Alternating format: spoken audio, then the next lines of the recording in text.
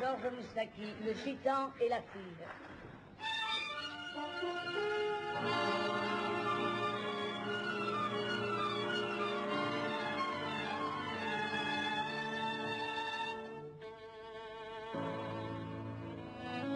Dick Gresung aka Robin entstammt einer Roma-Familie von Zirkusartisten. Er wurde hineingeboren in die Trapezgruppe Fliegende Gresens aus Harleys Zirkus. Seine Eltern sind John und Mary fille. Eines Tages wird der Zirkusleiter von einem Gangster namens Tony Zuko, dem die gesamte Stadt gehört, erpresst. Weil er sich weigert, Zuko Schutzgeld zu zahlen, verübt dieser einen Anschlag auf die Trapezseile, woraufhin diese reißen und Dicks Eltern vor seinen Augen sterben. Bruce Wayne, der sich zufälligerweise im Publikum befindet, als Dicks Eltern sterben, nimmt sich des Jungen an und wird dessen Vormund. Um seine Eltern zu rächen und Tone Zuko umzubringen, schleicht sich Dick jedoch des Nachts davon. Als Bruce herausfindet, was Dick vorhat, enthüllt er seine Identität als Batman vor ihm und hält den jungen Dick auch davon ab, die von Tone Zuko unterwanderte Polizei zu informieren. Stattdessen trainiert Batman den Jungen.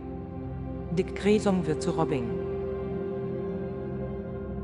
Der Ursprung von Robin geht bereits zurück in die goldene Ära des Comics. Seinen ersten Auftritt hatte er in einem Detektive-Comic von 1940. Der Waisenjunge Dick Grayson aka Robin war eine Identifikationsfigur für Kinder und bekam seine eigenen Comics. In dieser Zeit war er schließlich in mehr Comics zu sehen als Batman selbst. Dick wird das erste Waisenkind aufgrund eines Verbrechens, dessen sich Batman annimmt. Als Robin der Name, der von nun an für Batmans Helfer und Mitkämpfer reserviert ist, bleibt Dick über 30 Comic-Jahre hinweg an Batmans Seite. In einem Comic von 2001, Dick ist inzwischen erwachsen, will Bruce ihn adoptieren. Batmans Gegner Ras Al Ghul will jedoch einen Keil zwischen die beiden treiben und überzeugt einen alten Rom, Joschka Kräsinka, er sei Dicks Opa. Joschka spricht Romanes und Dick sagt, es sei schön, mal wieder diese Sprache zu hören. Schnell finden sie heraus, dass Ras Al Ghul Joschka angelogen hat, als er zu ihm gesagt hat, Dick sei das Kind seines verstorbenen Sohnes. In einem späteren Comic stirbt Joschka bei einem Anschlag und bei der Beerdigung sagt Dick selbst einen Segensspruch auf Romanes für ihn. Zu diesem Zeitpunkt ist Dick bereits aus der Rolle des Robin herausgewachsen. Der zum Mann gewordene Dick möchte nicht mehr nur im Schatten Batmans kämpfen. Letztendlich ausgeschlossen von dieser Position wird er aber von Batman selbst, als Dick im gemeinsamen Kampf an der Seite Batmans von Joker verletzt wird. Aus Sorge um seinen Ziehsohn entlässt Batman Dick deshalb aus seiner Rolle als Robin. Da Dick außer Batman keinen Vertrauten hat, wendet er sich an Superman, der ebenfalls keine Familie hat. Aufgrund einer inspirierenden Erzählung von Superman benennt Dick sich in Nightwing um.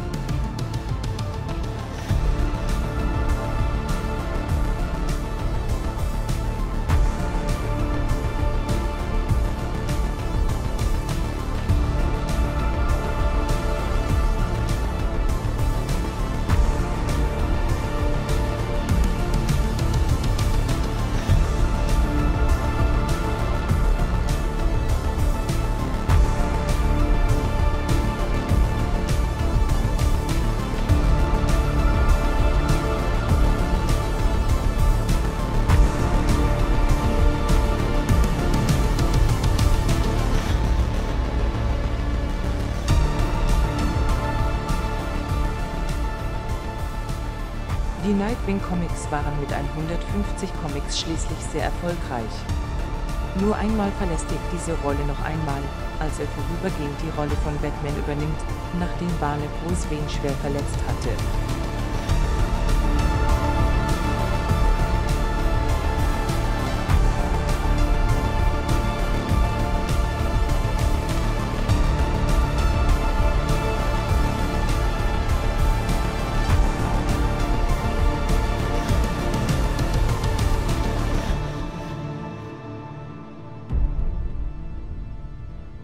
Dick Grayson ist eine der wichtigsten Figuren in DC Comics und eine der bekanntesten, wenn nicht die bekannteste Version von Robin. Er taucht zum ersten Mal in Detektives Comics Nummer 38 im Jahr 1940 auf, wird in 4498 Comics, Filme und Spiele integriert und ist von denselben Machern wie Batman kreiert Bob Kane und Bill Finger. Er ist Teil der Batman-Familie, von Super Friends, The Network, The Outsiders und The Teen Titans. 1980 erscheint eine Ausgabe mit einer Wiederbelebung der Teen Titans, erneut unter der Führung von Dick Grayson. Diese Erzählung war so erfolgreich, dass sie über 16 Jahre weitergeführt wurde, bis 1996. Nightwing wird bis heute als wichtige Figur weitergeführt. Im März 2021 erschien ein neuer Nightwing Es ist vielen nicht bekannt, dass Dick Grayson aka Robin als Calderasch-Rom im Comic dargestellt wird. Die Calderasch sind Schmiede und Kesselflicker und kommen aus den alten rumänischen Gebieten Moldau und Walachei. In Rumänien waren Roma 500 Jahre lang versklavt. Die Sklaverei endete offiziell 1856. Viele Calderasch wanderten daraufhin aus unter anderem in die USA. In den Comics um Dick Grayson kommen immer wieder Dialoge in Romanes vor, zum Beispiel mit seinem Vater.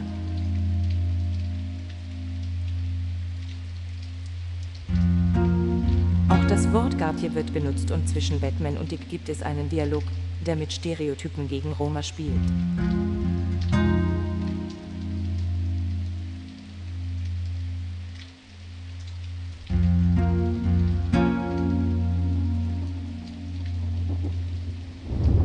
Comicwelt gibt es viele Roma-Charaktere, die eine große Rolle in der Popkultur spielen. Neben Dick Grayson sind das Magneto, Dr. Doom, Scarlet Witch und viele andere, die Comics populär gemacht haben. Sie erscheinen nicht nur in den Comicbüchern, sondern es gibt Serien, Filme bis hin zur aktuellen Filmindustrie des Marvel Cinematic Universe, die Millionen Gewinne eingefahren haben. Diese Filme verschweigen oder verändern die Roma-Herkunft der Charaktere. Deswegen machen wir für dich diesen Film, damit du die Fehler in den kommenden Werken der Kommerzfilmindustrie erkennen kannst. Bleib dran! Abonniere unseren Kanal und freu dich auf den nächsten Film über Scarlet Witch. Ein Film powered by Romedia Network und Romadness Strange Movies Production.